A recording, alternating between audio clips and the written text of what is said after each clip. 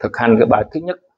Anh nhớ là luôn đi vòng tròn mà đi một ví dụ khởi động từ đây anh nhớ như vòng tròn là cái bàn chân này tiếp xúc vòng ngoài mà tiếp xúc trong à. Dạ. Cái đường của nó là cái quỹ đạo mình đi. Dạ. khi đi nè vừa vừa nữa mình- một bước bình thường của anh thôi. Cái chân phía sau anh bẻ lên năm ngón chân nha mà nhớ anh đè nó cho năm cái đường này nó căng lên. Năm cái ngón chân á là anh phải xòe nè thấy không? Ấn xuống ngước cái bàn chân lên vậy. Mà để ngay cái chỗ này trong cái tiếp xúc vậy đó, đó tôi đi làm mẫu này. Mà phải 12 giây anh mới đổi chân. Rồi anh cứ đi đi anh đi luôn. Đó. Mới đầu anh đè anh thấy đè bằng cái gì biết rồi anh dùng trí anh muốn đè cái chân bằng cái gì? Dạ. đưa trọng lực ra sau. Thấy chưa? Nè. Hả? Thấy chưa? Còn nãy anh lấy tay cho mình đè xuống là anh dùng lực là anh Dạ. sai nguyên tắc thi công. Dạ. Bắt đầu để chưa thì kỹ thuật đã khác người ta đó. Khi tôi đi và tôi biểu là đè năm ngón chân thì trong khí công đè nếu mà dùng lực thì không thu được khí. chỉ dùng trọng lượng. Đè hiểu không? Đó là một bí quyết rồi anh đi vậy đó. 10 giây xong đổi đi hết một vòng. Anh đi hết vòng để bài số 1 thì xong đó tôi chỉ bài số 2 bài là gọi là khí của chân. Mà anh khéo léo đừng cho người ta thấy nghiêng ra, vẫn bình thường mà anh dồi cái trọng tâm đó thôi. Dùng phải khéo léo. Tức là nếu mà anh thay đổi thì lát nữa anh đi, anh sẽ dùng lực lại. Tức là anh đi, tôi đi, nhưng mà tôi lại, cái người tôi đứng yên mà nó, cái trọng lực nó làm sao? Chứ không phải tôi lấy cái gọn gồng tôi đè xuống. Hát đó thấy cái bí quyết chưa? Khi công nhìn thấy giống vậy nhưng không phải là vậy. Nó có cái bí quyết khác bên trong. Nó anh đi một mà đi cái này ở nhà anh đi phải 10 phút một, một bài chân phải 10 phút tổng 36 bước trở lên mới được. Và tập bài chân này trong vòng nửa tiếng một tiếng trong một ngày đầu tiên tập suốt một tuần. Để tạo cái tí chân để anh có cái cảm nhận. Bài số 1 hôm nay chỉ anh năm bài tập năm bài chân. Mẹ của chân ừ làm làm sao làm? Tức là nè thấy không? Tức là để cho năm cái ngón chân nó đều co giống nhau. Thì anh phải xè ra nó mới co nó mới xè, nó mới co bằng nhau. Co bằng nhau mà muốn đè nó ông được chứ không được dùng lực dùng cái trọng lực của mình xúc cho đất. Sức hút cho đất trong cái câu này là địa khí. Lấy khí đất tập. Khí đất là sức hút á. Nè thấy không? Mình sẽ thấy. Nó có nó chạy lên tới lưng á. Anh mà giỏi nữa thì dở chân trước đây cái là thấy liền. Ừ. đó, chạy lên lưng. Đó từ từ sẽ thấy. Ghê lắm. Nó không thấy cái đường khí nó đi đâu. Cái đường năng lượng của đất nó chạy lên người anh. Mà anh chưa quen là dần anh là cái chân trước nó rất là nhẹ, chân sau nó nặng. Ừ. nè, thế theo tôi đi nè.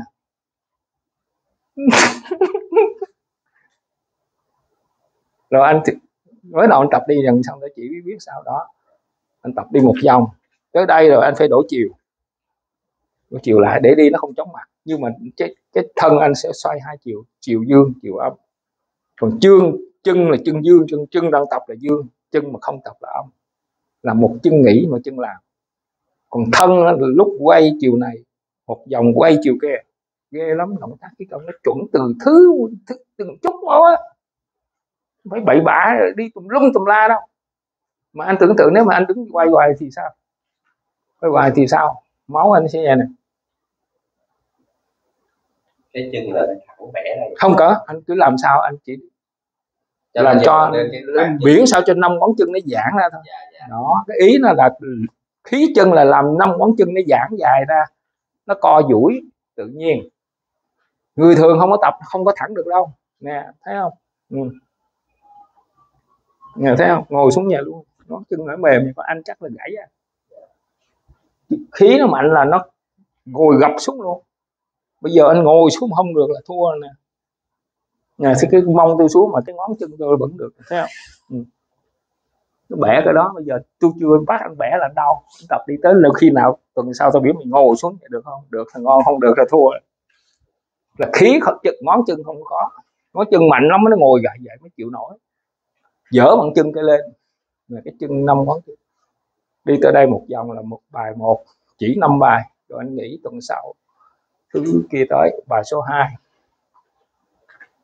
cái này lát hồi tôi gửi clip này gửi vô hết, anh đừng có lo, đừng có sợ quên. Tôi gửi cho cho anh anh ngồi anh tập. Đó là bài thứ nhất. Tập lâu nó sẽ có kinh nghiệm tập. Mới nào chưa biết nó tùm lum la. 12 giây phải trên cái thời cái thời gian nó quan trọng. Con trên thế gian nó có hai cái yếu tố không gian và thời gian. Thời gian là sự kiên bền vững là đều đều á. Bởi vậy tao nói vận tốc đều là vậy cái này cũng là giống vận tốc đều. Phải lấy chỉ 12 giây để làm vận tốc đều. Không có chuẩn là anh đi tùm lum liền.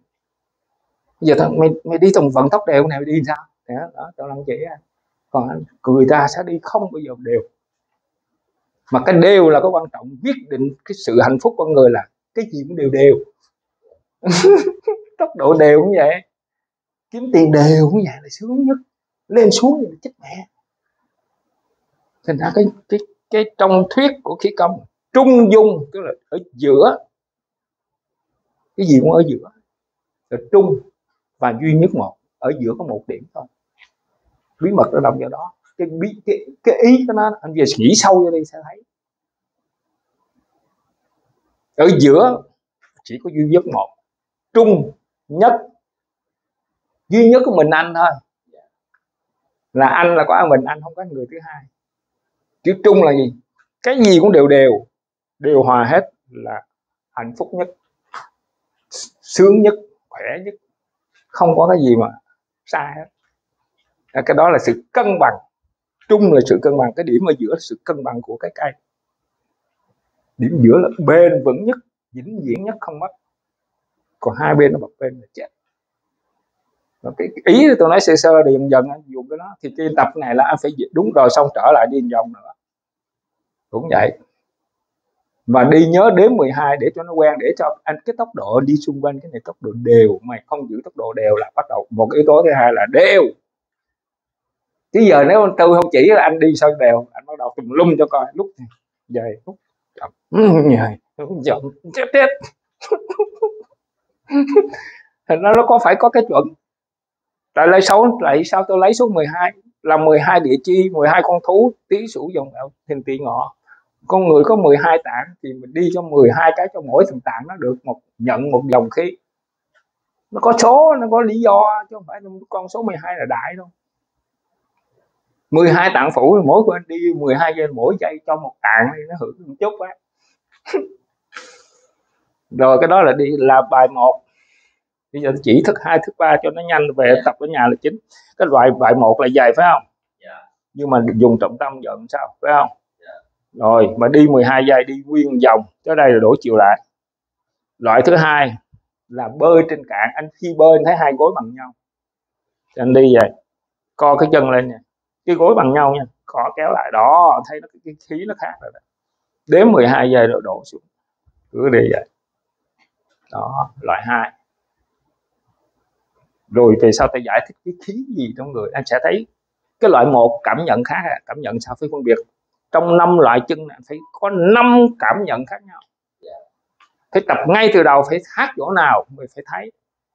Khác chỗ nào nó sẽ ảnh hưởng tới khu vực nào trong cơ thể mày đó bắt đầu biết rồi đó. Dạ. còn năm cái kia nó ở đâu phải tìm ra. Dạ. cái này thấy không? Có sao nó gì nó chạy ra đây? Không phải là cơ bắp. Nó 12 giây đúng rồi mình sẽ thấy nó vô một cái khu vực. Cái năng có loại gì á cái độ căng nó tới đó nó nó phình cái chỗ đó ra. Không phải là cơ bắp. Mà ở cái gì đó nó đó là cảm nhận khí. Nó cái khó mô tả. Cái đó ờ anh nói cái cái đó nó hiện ra. Mà tôi với anh nói ở ngoài nói tôi với anh xạo á. Hai ông này ông nói xạo. Nhưng mày tập đi mày biết. Có cái gì á? Nó quần quần quần quần á. Đó là loại hai nên nắm loại hai đó anh nắm được biết loại hai xong loại ba là vậy. Ông cũng đi vậy đó, mà để cái chân này nè. Ngước tự nhiên cái mũi chân vô trong thôi. Dơ lên, dơ cái chân lên trước, ngước mũi chân từ từ vô trong. Dơ, lúc mà dơ maximum tới ly nước mà vô không nổi nữa, thì để vậy 12 giây, thả xuống, anh sẽ thấy có cái gì. Cảm nhận nó là cái gì, phải tự trong cơ thể phải tìm ra. Nước cái mũi chân sâu vô nước sâu vô đây nó tự ra nó không trả lời. Chả biết có cái gì nó hiện ra là anh thấy có cái gì. Cái dây, nó có hai loại, cái dây và cái khu. Cái dây nó dài vậy nè. Thấy không? Có cái dây mà nó căng ngầm ngầm, nó dài nó dài tới đâu?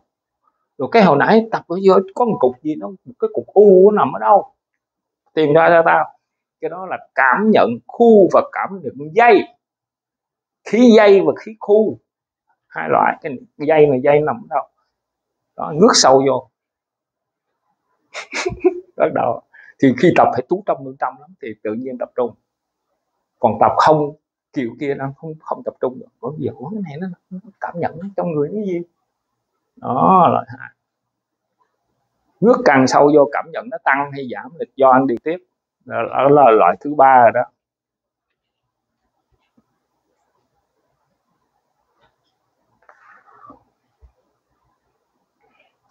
Cái cảm nhận nó nằm ở đâu và cái cảm nhận là cái gì? Cái không nói được. Cái cái này tức là cái cảm nhận cái này vô hình. Hiện nay con người ta không có từ điển vô hình. Không giải thích hết cả cảm nhận được. Nhưng mà khi tập sẽ có các các cảm nhận khác. Đặt tên tự anh đặt tên gì kệ anh. Nó có cái ngôn ngữ của nó mà nhiều người không, phát, khác khác nhau hết. Nhưng mà nó nó nó vậy thôi. Tức là cái ngôn ngữ vô hình không có từ ngữ nào mô tả được từ ngữ vô hình không mô tả được cái hiện tượng đó. Cái trạng thái đó. Người tập khí sẽ thấy có hàng triệu loại hàng trăm loại mình nó hệ tôi sẽ hệ thống lại hóa lại để anh luyện nó. Tức là khi anh tập sẽ có cái cảm nhận đặc biệt thì anh phải lấy cảm nhận đó anh xử giùm tôi.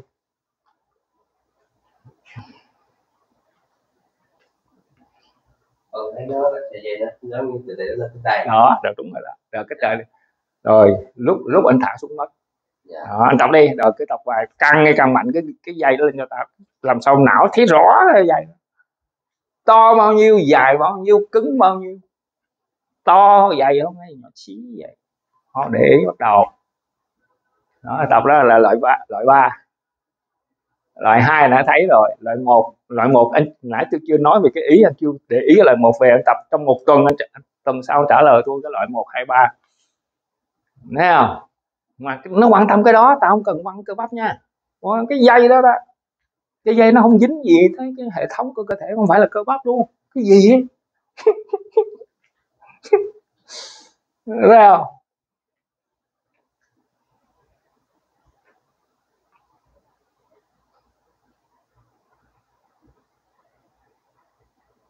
Rồi nó loại 3 bây giờ loại 4 loại 4 là anh anh cũng để vậy ha, anh úp cái chân xuống nha.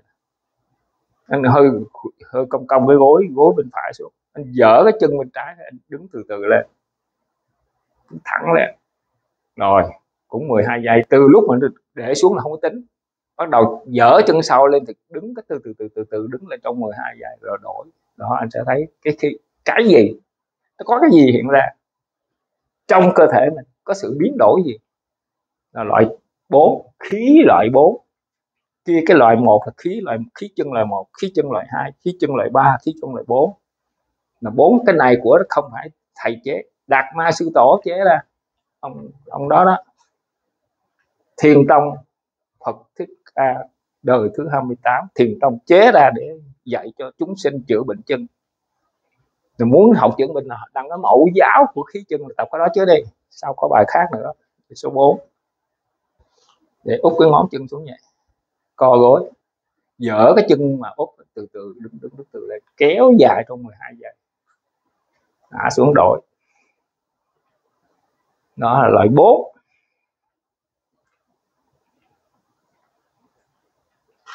rồi loại 4 rồi anh ngồi suy nghĩ tất cả các loại tôi, lắm chị, anh nó dính tới loại thú nào anh sẽ biết. Anh phải tự suy nghĩ, tuần sau trả lời cái loại đó giống con thú nào nó khí của thiên nhiên như vậy. Tất cả loài thú nó sống bằng khí thôi, nó không bao giờ bệnh hoạn hết. Có khí hết. Rồi cái loại 4 xong loại 5 là giờ để chân cái loại này nó nhanh lắm. Một giây thôi, để một giây dần dần tăng lên. Để cái gót này ha. Anh chịu co co cái dở chân sau lên. Rớt xuống ngay vị trí cũ thôi. Đó là một. Xong đổi. Đổi qua cái gót thứ hai. Chịu cái gót phía trước, dở chân để xuống. Cứ tập vậy thôi. Đi hết nguyên vòng mình sẽ thấy được cái gót thôi. Dở cái chân trước lên, dở chân sau lên, rớt xuống vị trí cũ, không được sai một chi em nào. Rồi tự tập giữ thăng bằng cái gót, rồi xong đổi chân, để cái gót.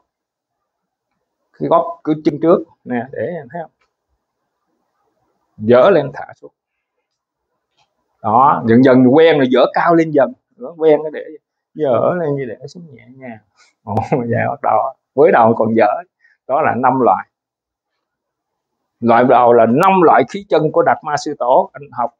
Và cảm, tự mình cảm nhận mỗi một cái động tác đó, nó có cảm nhận